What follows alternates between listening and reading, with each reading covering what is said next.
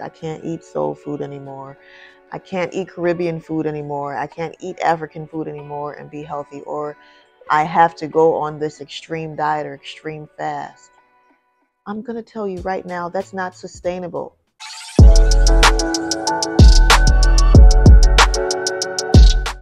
Hey y'all, how you doing? My name is Jillian Poinu. I'm a registered dietitian and a wellness coach, and I teach people how to enjoy a healthy lifestyle guilt-free. So today we're going to be talking about reasons why your healthy lifestyle is not working.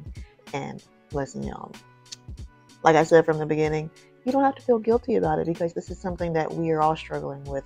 And it's even something that I have been on a journey within my own lifestyle. So I just want to stop there and I want to say this literally this is a guilt-free zone, okay? So what is the first reason that people struggle with a healthy lifestyle even though they're trying so much? And I'm going to be reading my notes while I talk about this today. Number one, you constantly diet. Okay, comment down below if you can say that you have tried at least five different diets in your lifetime. If you have, just comment down below and let me know. Listen, it's more common than you think. In fact, there's research that shows that people who diet, they may lose the weight, but guess what? After about six months to a year, they gain it back and even more. If that's you, it's more common than you think you will find out that this is something that so many people struggle with. So, what is up with this whole diet thing? Like, why do so many people diet? Well, I think that a big reason why is because we as Americans, we are overworked and overstressed. And we feel like there's so many different things to juggle. I got to know all the different ingredients in my food. I got to look at nutrition facts. I got to exercise. I got to take care of my kids. I got to go to work. I have to work when I come home because my job is still expecting me to answer emails. I don't have time. I barely have time to sleep. so for many people, they find, especially like after that 25 year old range, they're like, okay, I'm starting to gain weight and I don't really know what to do. And dieting seems like a perfect thing to do. So if you don't diet, what are some other things you can do? Well, one of the first things you can do is figure out some lifestyle changes that may not be that hard to do that can help you. So I'll give you a couple and then we'll go on to the next thing. So, one thing that you can do if you are trying to figure out a different way other than dieting is you can try to find simple things to eat. Okay, simplicity is key.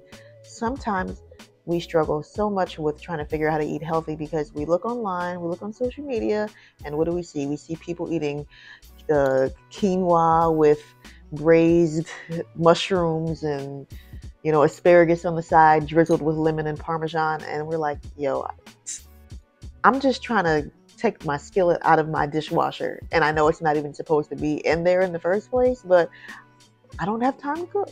So, what is one simple thing you can do? I talk about this all the time on my Instagram, and make sure to follow me at Jillian Q Co for daily inspiration and health tips. But buy rotisserie chickens. Okay.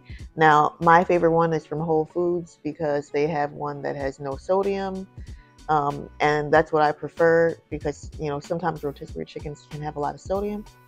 Um, but if you don't have a Whole Foods or if that is outside of your budget, another thing you can do is you can buy your rotisserie chicken from whatever store works for you, and you can just uh, you can rinse the meat off or you can boil it before you use it if you desire but rotisserie chicken is great. And you can do lots of things with a rotisserie chicken. You can make sandwiches with it. And it might even be cheaper than that lunch meat that you get, well, like this much for like $10. Y'all know what I'm talking about.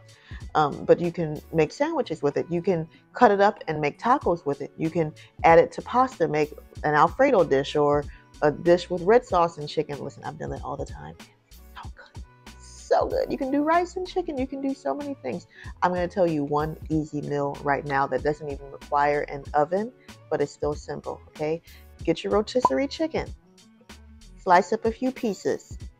You get some cucumbers. You slice up those cucumbers. You get a baked potato. You can do a sweet potato if you want to. You wash that thing off, prick some holes in it. Make sure to prick the holes so it doesn't explode. Put it in your microwave quick, simple meal. And you didn't even have to go to get any fast food. Told you I got you.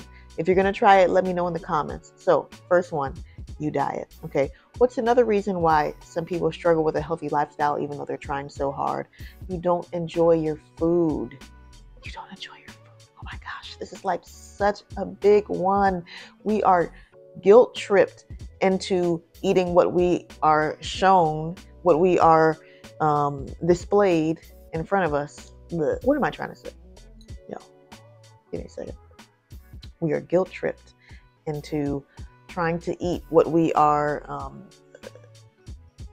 presented. Yes, that's the word. What we are presented as a healthy lifestyle. So, what do we see on TV? What do we see on social media?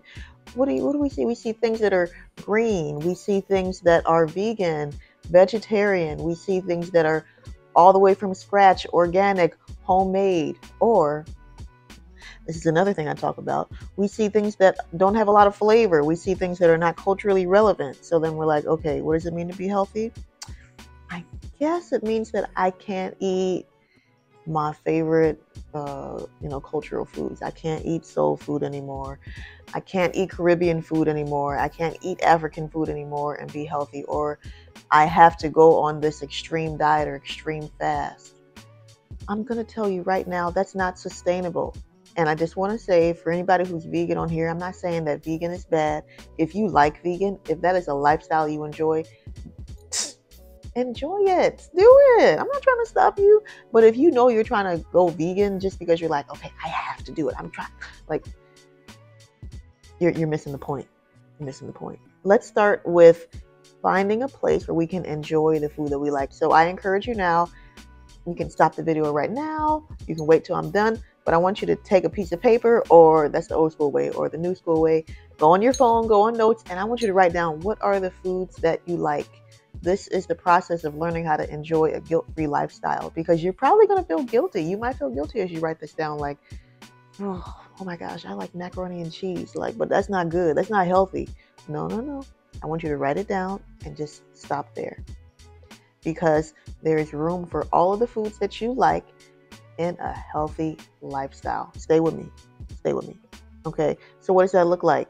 Let's say you do like mac and cheese. That's one of my favorite foods. You can have a meal with mac and cheese. Okay. And then with that mac and cheese, you add some vegetables with it. Maybe you, like I said, I love cucumbers because they're so quick. You add some cucumbers. Maybe you don't like cucumbers with without any seasoning, so you drizzle them with some vinaigrette, or you add some salt and pepper. Whatever you just you just zhuzh it up a little bit. Do whatever you got to do. Okay. You got your mac and cheese.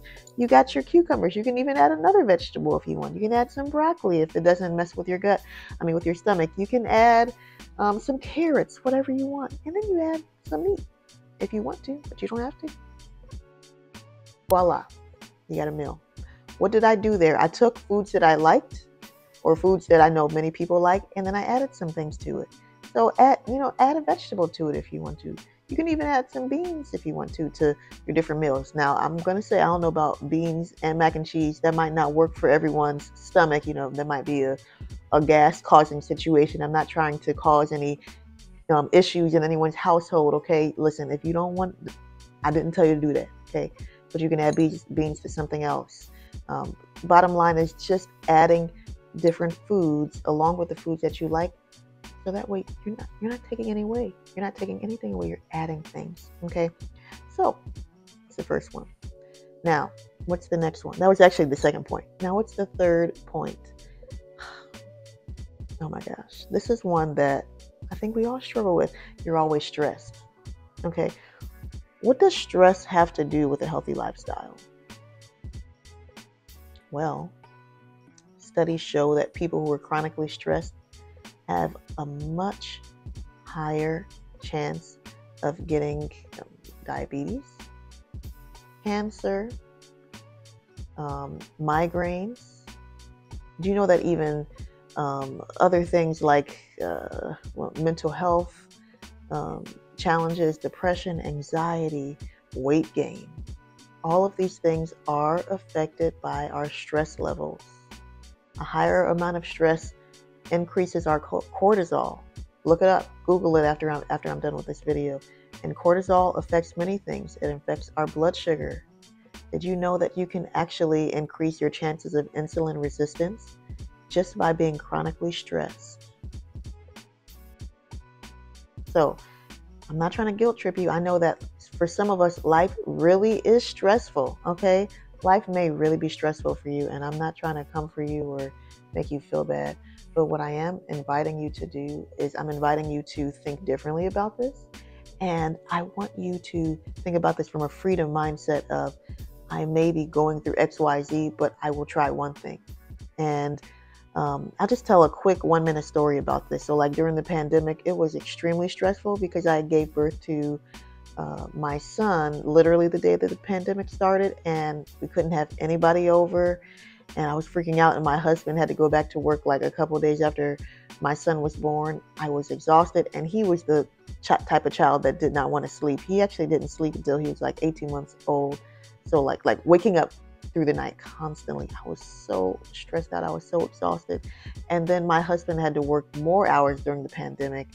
Um, he was he was working like literally from sun uh, sun up sundown. I was so exhausted, y'all. I was so stressed. Um, my hair was falling out. It was just there was a lot going on, and I just remember I was looking on social media at people who were like doing the thing, and I was like, why? Why can't I do this? Why can't my life just be a little bit simpler? And the truth is, so many other people were struggling in ways that I was not. And that may be your story even now, even though the pandemic is technically over. I want you to know just do what you can. A stress, a, a lifestyle that has less stress is not necessarily a lifestyle that, like, you get everything you want. That is a part of it. And some of us do need some um, changes in our life. Some of us do need a different job or we need a little bit more income to be less stressed. But there are a few things you can do. Like I said, I'm going to keep the ball rolling with this. But one of the things you can do is try to find a way to find something to ground yourself. So um, I am a faith believing person, I'm a spiritual person. And one thing I like to do is I like to turn on worship music or I like to get my journal and I like to just you know, write prayers on my in my journal and just talk to God about how I feel. That helps me so much because it helps me to release a lot of the feelings and a lot of the stress that I have. So that's one thing that I encourage you to do. Turn on music. It doesn't have to be worship music. It could be meditation music. Whatever it is that works for you, to just close your eyes for a second and just just allow peace to enter into your heart. So I encourage you uh, to do that as well. That's just one thing you can do. If you have any other ideas, feel free to share with the community. Because listen, I'm not trying to. I, I want us to continue to share, to continue to connect. So decrease that stress. Now, the next one, you don't sleep. Oh my gosh. sleep. This one is tough for a lot of us. Tough for a lot of us, especially if you're a parent of an infant or a parent of young children who decide that they want to wake up in the middle of the night because they're hungry or um, because the infant is hungry or they had a bad dream or whatever it is, sleep can be challenging for some of us. But one thing that makes it even harder, got to come close for this one, listen, I'm not coming for you. I know you're probably watching this video on a cell phone.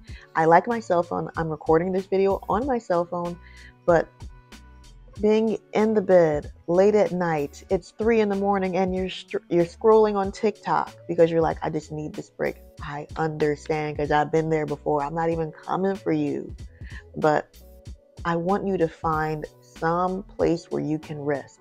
Maybe you start something small, like maybe you say, okay, tonight instead of staying up till 3 a.m i'm only going to stay up till 1 a.m like maybe something small like that. Or maybe you tell yourself okay i'm going to start reading books. Why? I learned for my for me because like i said i found myself doing that too. I needed something mindless to do after be like taking care of the kids all day to help me to relax. So i started crocheting. Yes i know my millennial self i started crocheting but my mom taught me how to do it um, when I was younger, and hey, it worked for me. There are other things you can do. You can do your nails. That's for the ladies, of course. Um, you can read a book. You probably can see some of my books behind. And this book, Ghetto Gastro, you got to check it out. It's a great book for your coffee table. It looks good, as you can see in display. You can find it on my website at jillianq.co, jillianq.co. If you go on my blog, I have a list of different books that are curated um, for African Americans, people of color. So check it out. Uh, but anyway, uh, read a book. You can try that. You can try writing. Um, you can try a bunch of different things. Let me think of any other ideas. Um, oh, yes. You can listen to a book on Audible. I did this a lot too. I put my headphones in and I would just listen to a book. So that way um, I was still able to engage with something, but I wasn't like on that bright phone because the brightness from that phone it can mess it can mess with your sleep and it can make it harder to relax and create that melatonin to calm down and just be able to fall asleep. But yes, sleep does affect your health. It can affect your weight. It can affect um, uh, your blood sugar. Can affect a lot of different things. So sleep. Now I don't want to make this video too long, so I might have to cut this into two. But I'll share one more thing. Yes, I am going to do a part two for this. So this is the last one I'm going to do, and I'm going to talk more about this in the next video. But the last one I'm going to talk about is this. You have been living with cultural shame regarding your health. Now, what do I mean by that? Okay, if you are someone who is of African descent, if you're an African American, uh, Caribbean, whatever, you know, you're within the African diaspora, and you have been trying to get healthy. Have you ever had this thought? Or has anyone ever told this to you before? You can't eat that. You can't eat that. That's slave food. You can't eat that. That's bad for you. You can't do that. See, that's why black people are always unhealthy. That's why black people always got diabetes. That's why black people always got this have you, if you've ever experienced that, just let me know in the comments because I know I have. And it left me for years thinking that, like, okay, black people must not know how to be healthy because we eat all this food, like all this greasy food. We don't eat a lot of fresh food. You know, everything is cooked down so low, you know, to the point where there's no nutrients left. We're all overweight. We're all fat. Like, uh, we don't, why are we like that? That's what I used to think because that's what I, I was um, uh, told all the time. That was the narrative that I was given until I began to do a little bit more research. And I found out that that's not the whole story, y'all, which is why reading is so important. So important. If you haven't seen the Netflix documentary High on the Hog, you have to check it out. But along with that, you also have to check out the book that the docu series was based off of. It's called High on the Hog. It's written by um, author Jess- Dr. Jessica B. Harris. She is an amazing, amazing scholar, author, historian. You, you got to check her out. She talks about um, uh, the history of our cultural foods, our cultural roots, and how those things uh, have affected the way we see um, ourselves today, and different things we can do to come back to the things that our ancestors used to do. So I encourage you to check it out. And once again, yes, all those books are on my website. I'm just trying to help y'all out. So I'll link that in the description box if you want to check out those different books. Um, but along the way, I, I found out that the reason why that's not the story is because of something called social determin social determinants of health. What is social determinants of health. Social determinants of health are um, various factors that affect someone's health. Okay, I'm talking about all the things that I've mentioned already. I'm talking about stress, sleep. I'm also talking about things like pollution, okay, water quality, access to grocery stores, access to fresh produce, um, good quality schools, good neighborhoods, walkable neighborhoods, um, parks that children can go to that are safe. Listen, y'all. Oh my gosh. All these things affect someone's health. And when young people don't have access to these things, by the time they become adults, they have been set up to the point that it makes it almost impossible to be healthy. In fact, there is a study that shows, and I'll link um, a blog where I talked about this. There's a study that was done, um, I think it was completed last year in 2022, it was uh, uh, in regards to diabetes. They found out that literally our country is designed for people to become diabetic. They said that um, you can do everything right according to, you know, the um, food recommendations and take your medication, and literally diabetes can still be waiting at your corner, not wanting to um, work according to the way that doctors and scientists thought it would at first that if you just control your food and portion everything and do this and it'll all be all be perfect all be good. Like y'all that's why i'm trying to talk about this whole guilt-free wellness thing because it's it's crazy okay? It's crazy. So social deter- determinants of health. So what can you do?